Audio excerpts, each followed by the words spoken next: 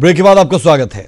यमुनानगर से लड़कियों की लड़ाई का वीडियो सामने आया। मारपीट दोनों तरफ़ से हो रही है और खुलेआम गालियाँ दी जा रही है। मामूली सी बात को लेकर लड़कियों ने पूरे कॉलेज में खूब बवाल काटा।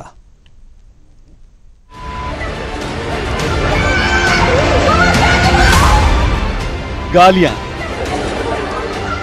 मारपीट, ये बाल नोचती लड़की, ये गाली देती युवती और तमाशबीन बनी लड़कियों की ये भीड़।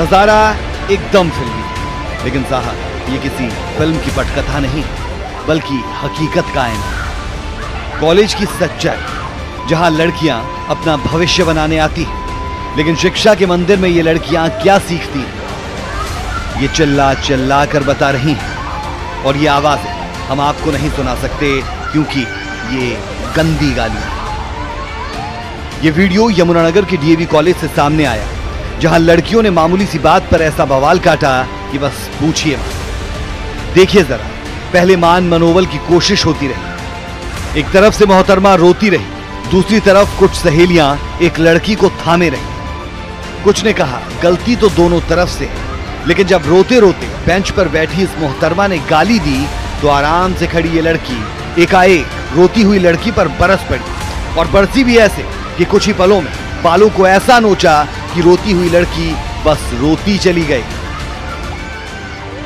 लेकिन अभी तमाशे का अगला पड़ाव बाकी था। रोने के बाद बाहुबल का परिचय देना बाकी था। ये कोई फिल्मी सेट नहीं है। लेकिन लग बिल्कुल ऐसा ही रहा है कि लोगों की भीड़ एक्शन देखने के लिए पहुँची हो। तो कुल मिलाकर सब तैयार था। बस इंतज़ार था तो एक्शन का। और ये हुआ एक्शन। रोने के बाद कुछ संभल कर पहुँची ये युवती। आई और गाली से शुरुआत कर, अपने छोटे छोटे हाथों से पूरी ताकत लगाकर, दो मुक्के जड़ दिए और फिर 100 मीटर की ऐसी दौड़ लगाई कि अच्छे अच्छे धावक भी शर्मा जाएँ। देखकर ही लग रहा है कि हाथों के वार ज़्यादा दर्ददेह नहीं रहे होंगे, लेकिन जिसे मारा गया, उसके अहम को ज़्यादा चोट लगी। तो बस माँ बहन की गाली देने से भी इन मोहतरमा ने गुरेज नहीं किया। और जमकर दिखाए अपने गालियों के गुर। ये तस्वीरें ये सोचने पर मजबूर ज़रूर कर रही हैं कि हमारे बच्चे कॉलेज में जाकर क्या सीख रहे हैं। क्या हमारे कल की यही तस्वीर होनी चाहिए? जवाब, यकीनन ना है। अब इंतज़ार है कि कॉलेज प्रबंधन की तरफ़ से क्या कार्रवाई की जाती है।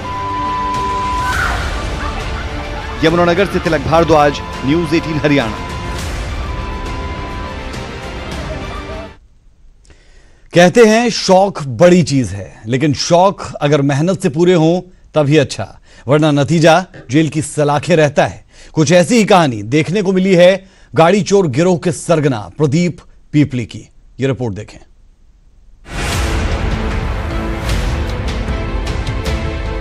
ये चमचमाती, महँगी गाड़ियाँ और इन गाड़ियों के साथ पुलिस की गिरफ्त में बैठा ये गाड़ी चोर गिरोह का सरगना। जो कभी लग्जरी गाड़ियों में सवार होकर सड़क पर एंट के चलता था। आज वो मुँह छुपाए, मुँह पर नकाब उड़ाए, बेचारगी की हालत में ज़मीन पर बैठाया गया है। आप सोच रहे होंगे कि आखिर ये कौन है? चलिए आपका तारुफ करवाते गाड़ी चोर गिरोह के सरगना प्रदीप पीपली से। इन जनाब पर आरोप है कि ये सौ से ज़्यादा गाड़ियाँ चुरा चुका है। और वो भी लग्जरी, यानी महँगी से महँगी। आप नाम लीजिए और गाड़ी हाजिर। बड़ी बड़ी गाड़ियों को लूटते हैं फॉर्चूनर है इनोवा है, या ये स्कॉर्पियो है, ये गाड़ी पंद्रह पंद्रह, तीस तीस लाख, पैंतीस पैंतीस लाख रुपए की आती हैं। और लूट में जो है ना, इनको बड़ा इजी है तो सस्ती पड़ जाती हैं। ये पंद्रह, दस से और पंद्रह लाख रुपए की ये गाड़ी बिक जाती है, उसके बाद इसके फोर्स डॉक्यूमेंट्स जो है ना तैयार करके ईजीली इनको बेच प्रदीप पीपली को महँगे शौक ने ही जेल की सलाखों के पीछे पहुँचाया और पूछताछ में खुलासा हुआ कि प्रदीप पीपली सिर्फ़ महँगी गाड़ियाँ ही नहीं, महँगे कपड़े और महँगे फ़ोन का भी शौक रखता है। पुलिस ने आरोपियों से अब तक आठ गाड़ियाँ बरामद की है। दरअसल दो दिन पहले भी पुलिस ने आठ आरोपियों को गिरफ़्तार किया था और अब देर रात सोनीपत एसटीएफ ने मुख्य सरगना प्रदीप पीपली को पकड़कर कामयाबी हासिल की। ये इसका इंजन नंबर तो वही रखते थे। चेसिस नंबर इसका चेंज करवा के फ्रो, फ्रॉड एनओसी और डॉक्यूमेंट्स तैयार करके और वहाँ फिर अथॉरिटी में सबमिट करवा के उनसे रजिस्ट्रेशन करवा लेते थे गाड़ी। गिरफ़्तार।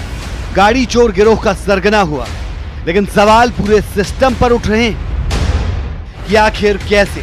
गाड़ी को पास करवाया जाता था कैसे नकली कागजात बनवाए जाते थे और कैसे ग्राहक ढूंढकर गाड़ी को बेच दिया जाता था। कुल मिलाकर सिस्टम के इस खेल में हमाम में सब नंगे नज़र आ रहे हैं। सोनीपत